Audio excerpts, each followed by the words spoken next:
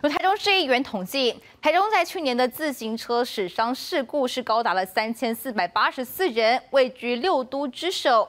不少民众都表示，在市区的一般道路骑自行车，经常要和车辆争道，非常的危险。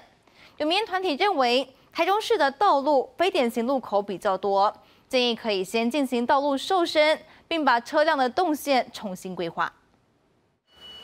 拿起卡片一刷，就可以便利租到 U Bike，这已经是台中市民的日常。不过提到在市区一般道路骑车的经验，不少民众说简直是提心吊胆，会很害怕。嗯哼，对啊，所以有时候会不小心骑去人行道上面，因为就是怕跟摩托车会太靠近。自己的小孩的话，我就几乎不让他骑在就是有一般马路上，就是有专用道的才会让他骑。民众所有自行车道比较安心，但毕竟不是处处都有，大多数还是得骑在一般道路，也因此意外频传。像是去年五月，在无期就有女学生骑单车被后方的游览车擦撞；今年三月也有公车和自行车的死亡车祸，这也让台中市府强调的自行车城市被打了问号。将配合市府各相关单位进行道路整体环境改善与检讨时，并同研议。无你赶时间就达达骑，你干那骑地尾就是无赶时间，唔知骑地尾对吧？民众无奈表示，一般道路经常得和其他的车辆争道，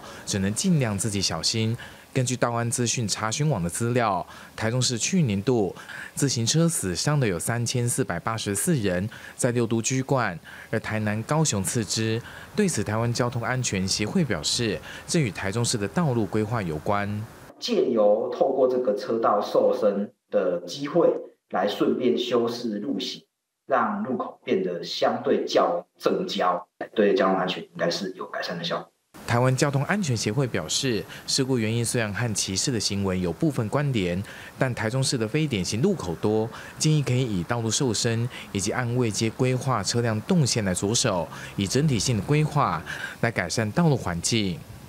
记者林建生、王龙涛，台中报道。